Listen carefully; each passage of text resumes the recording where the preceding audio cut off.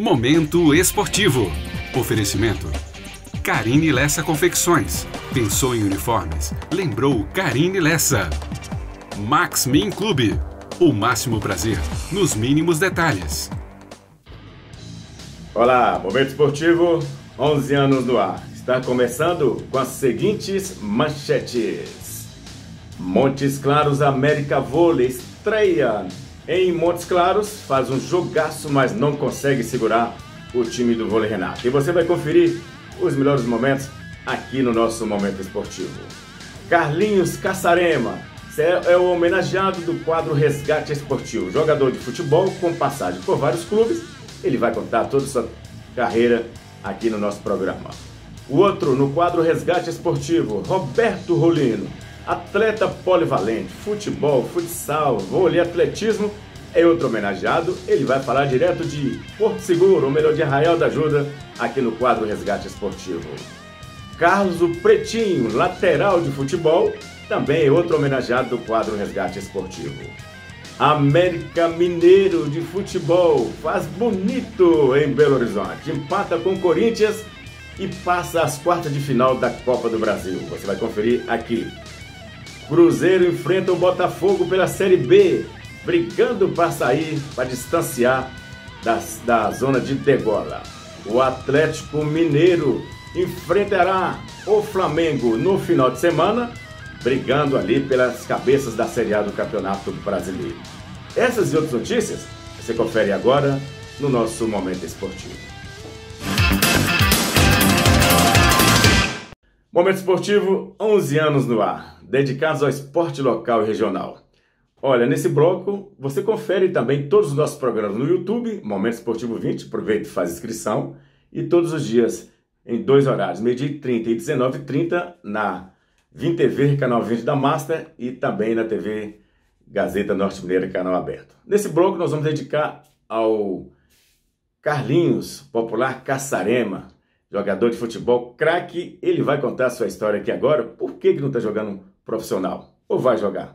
Vai ficar sabendo agora. Fala aí, Carlinhos. Bom dia, Rose. É, agradecer você pela homenagem aí, dessa reportagem aí que vocês estão tá me concedendo aqui. O meu nome é Carlos, conhecido como Carlinhos, né, o apelido aí, conhecido como Carlinhos Caçarema. Sou lá da região, comecei a jogar nos campinhos lá, de terra lá.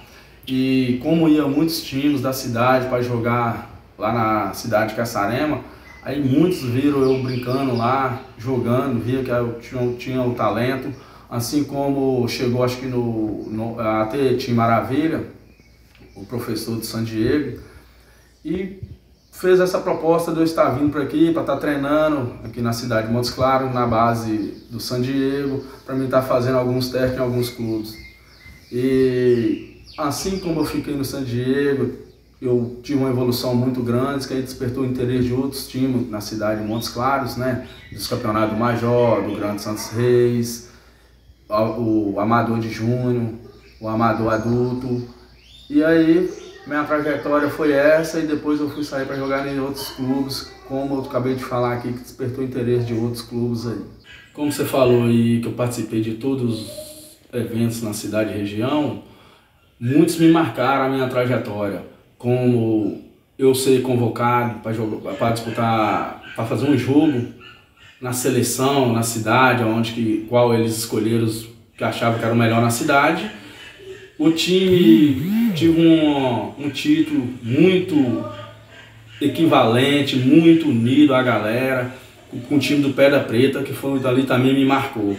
Mas entre esses três, que eu vou citar aqui agora, o campeonato do Amador de Vasco 2009, eles foram um que também marcaram muito a minha trajetória, pelo qual eu é, vinha num, num momento muito feliz de qual eu estava participando em 2009, sendo campeão de todos os campeonatos que eu disputei em 2009, sendo campeão em Lá em Capitão Enéas, fui campeão em Mirabela, fui campeão do Amador Adulto, do bairro Santos Reis, do Campeonato Santos Reis, mas o que marcou foi o campeão de 2009 no Vasco, porque, como eu acabei de falar, havia um momento muito bom e ele estava na minha espera que eu pudesse chegar e ajudar o time, mais do que o Vasco já vinha se acrescentando, entendeu? Porque cheguei na final com a grande equipe do Cruzeirinho, no qual a gente saiu perdendo por 1 a 0 e eu, no momento seguinte, teve a gente empatar o jogo comigo. Aí em seguida teve um pênalti que o Toninho deu, fez um lance lindo lá na área lá, que foi puxado pelo Léo aonde que só tinha grandes jogadores medalhões como o Toninho, como o Ramon, que, como o Vaguinho, como o Adé e outros mais lá que eu não estou me lembrando aqui agora no momento, mas que podia ter pegado aquele pênalti para bater, mas estar numa confiança tão grande em mim, realmente eu venho jogando esses campeonatos todo bem, no momento lá no Vasco também muito bem. Eu peguei ele a bola para bater, foi no qual onde que eu vim errar o pênalti. Mas ali no momento não me abalou, continuei jogando meu futebol, aí que eu apareci mais no jogo mesmo. Em seguida, alguns 3 minutos, 5 minutos, eu faço o gol da virada lá, aonde a gente concretizou sendo campeão e depois numa bola boa lá e participei da jogada tocando o atleta Rangel veio fazer os, os 3 a 1 em seguida, certo? Então eu acho que esse momento aí foi o momento que mais me marcou na minha trajetória. Então, minha opinião, a relação de não ter um, um, um time em Montes Claros representando o Campeonato Mineiro, eu vejo como falta de incentivo né, dos empresários da, da, da cidade de Montes Claros e região, assim como o órgão competente, como a própria prefeitura, é, a Secretaria de Saúde, é, de Esporte, como a Secretaria de Esporte, que podia estar incentivando esse time aqui em Montes Claros, é porque aqui na cidade de Montes Claros tem muitos atletas bons, muitos atletas bons, que eles podiam estar pegando e estar tá dando essas oportunidades. Nomes hoje aí, como, como devido à idade estar tá mais nova, tem um menino conhecido como Manteiga, tem o Gutocha. Tinha na época aí que eles podiam estar tá dando um incentivo, como o Deninha, que eu acho, na minha opinião, é o melhor atacante de Montes Claros. Tem o Rafael Castro, o Rafael de Maninho, e assim como outros, igual o próprio Jefinho Cabeção, que vai ter uma oportunidade aí agora, entendeu? Falta isso aí. Falta o incentivo do próprio órgão competente e dos próprios empresários na região e na cidade de Montes Claros. Você jogou vários campeonatos e tem um grande potencial. Por que não quer seguir a carreira de jogador de futebol como profissional? Então, Rose, é, eu não, não é porque eu não quis seguir a carreira de como jogador profissional. É igual eu acabei de falar com vocês, às vezes o cara deu incentivo de um empresário, né, alguma coisa desse modo. E eu não tive essa oportunidade, assim como quando eu vim, que era para começar no San Diego e para ver se conseguia ir para fora, aí eu não tive essa oportunidade. Fiz algum, até alguns jogos contra, contra como o Atlético Mineiro, como o Cruzeiro e assim como outros mais, entendeu? Mas eu não tive essa oportunidade igual muitos outros hoje, outros atletas tá tendo aqui agora. Começa com 7 anos, 8 anos e já, já tem, já tem essa oportunidade, né? Mas quando eu já vim ter uma oportunidade, eu estava trabalhando numa empresa chamada Lafarge, foi quando o Funorte estava voltando, colocando o time aí, procurou o ADE, ainda teve, me fez a proposta lá também. Só foi aonde no qual eu não queria ir porque cada insegurança do futebol em questão de pagar um mês e não te paga mais, você largar uma coisa que era certa, vai pro duvidoso, é complicado. E eu já também já estava com a idade um pouco acima, assim como em 2012 surgiu a oportunidade de eu jogar num time lá no Pará, no Cametá, junto com meus colegas Bill e Dedê, que são lá de Mirabela, devido a um jogador chamado Arquimedes, que é um colega que a gente, eu fiz com ele aí em 2010, e até no qual veio ser campeão em 2012 sendo é, tirando o próprio Pai Sandu na semifinal e sendo campeão em cima do Remo. Mas nessa época eu já estava okay, com meus 28 anos. Um jogador de 28 anos dar uma sequência no profissional é complicado, né? Porque não teve uma base, as lesões aparecem mesmo. Mas eu não dei, a, não dei uma continuidade na minha vida profissional como jogador devido às oportunidades que não tiveram. Sou feliz no meio do futebol, pelas coisas que aconteceram e proporcionou na minha vida. Porque pelas as, as, equipes que eu citei os nomes que eu joguei, como é fora de Montes Claros e Montes Claros, como Vasco, Vila, Independente, Guarani de Januário, o 7 de setembro, Vasco Bocaiúva, Paysandu, Cruzeiro, no Amador, o Cruzeiro conhecido como Cruzeiro de Ide. É, todos que eu passei, eu passei para contribuir. Tudo para contribuir, como no futebol, como trabalhando dentro de campo, assim como fui campeão e como as amizades que eu tenho hoje.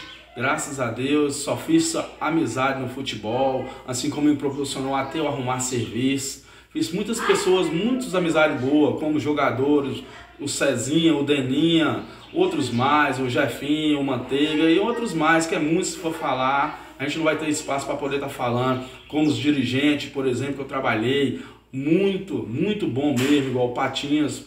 É felicidade de eu ter conhecido um cara igual o Patinhas, o filho dele, Gustavo, o Zelão, o Aldair lá na Vila Atlântica e outros mais, o Flaviano, o qual eu tenho uma ligação até hoje com ele, com o time do Vasco até hoje. São umas pessoas bacanas. Se fosse para mim fazer tudo de novo, eu voltaria só para pensar onde que eu podia resgatar mais colegas desse, desse porte aí. Então, Rose, só tenho mesmo a agradecer vocês aqui agora, né? Pela essa participação, pela essa homenagem que vocês estão me concedendo aqui agora de fazer parte desse programa, do Momento Esportivo. E que Deus sempre abençoe vocês, que mantenha sempre essa audiência aí, que Deus sempre tá abençoe vocês. E quero agradecer aqui a vários treinadores com quem eu joguei, que me deu essa oportunidade e eu saí de lá bem sucedido com eles, que eu acho que eu só tive a acrescentar com eles. Citar nomes é bem complicado porque é, é vários, mas tem alguns nomes que a gente assim, às vezes lembra mais, porque devido a, a convivência no futebol, no qual eu joguei mais tempo no clube, é, e mesmo fora do futebol, você tem uma convivência por fora, entendeu? Assim como o próprio Zelão, foi onde eu convivi mais no futebol, onde eu tive muita felicidade de ganhar vários títulos. Tem o próprio Flaviano, né, como treinador, e outros mais. Eu joguei no Independente, treinador era Natório, joguei no Vila Atlântica, bem lembrado, um ex-treinador finado Jorge, e eu no Cruzeiro de Ide, com Hermes, Afonso, com Ede, com, e vários outros mais. Agradecer muitos diretores no qual me proporcionou essas oportunidades, como Patinhas, né? Como Patinhas é conhecido no futebol, o Gustavo, o Adriano da autoescola, no qual colocou um time Bocaiúva, que a gente estava junto com ele, e forneceu muitas oportunidades lá. O novo Delfim jogando com o treinador Lourão, né? outros mais, assim, igual o time do Pai Sandu, com os meninos lá, o Meis, aquele pessoal lá, era fã do meu futebol, acreditava em mim e me chamou para ir jogar. O próprio time lá de 7 de setembro e, e mais eu só peço desculpa aí pelos que eu não lembrei aqui, porque se a gente for fazer uma anotação, é vários. Só tenho que agradecer a eles e que me desculpa pelos nomes que eu não falei aqui agora no momento, você entendeu? E e agradecer a vários atletas que fazem parte da minha vida, que é muitos, muitos e muitos mesmo, bem legal mesmo. Como os mais, uma idade, uns dois anos a mais do que eu, como o Zolinha, cara fantástico, eu joguei, o próprio Sejão, o Celcin, aí essas novas geração, tem vários aí, como o Deninha, onde eu joguei muitos jogos a favor e sendo mais campeão. Acho que eu e ele, Deninha, jogando junto, a gente tem uns 11 títulos aí.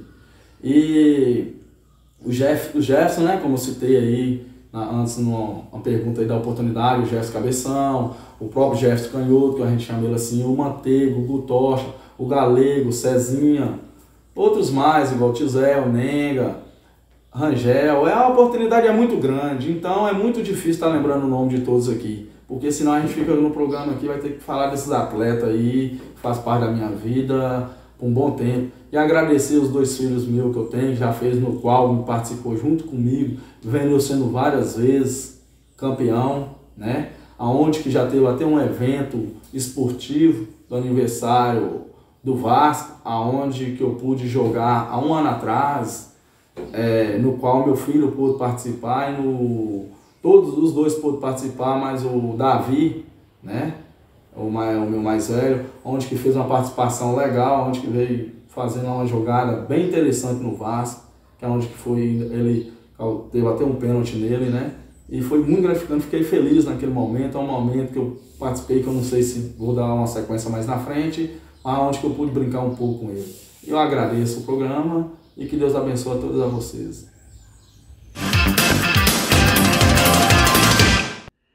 Sensacional, né, Carlinhos? Podia estar jogando, né? Tem, é craque e tem futebol para isso.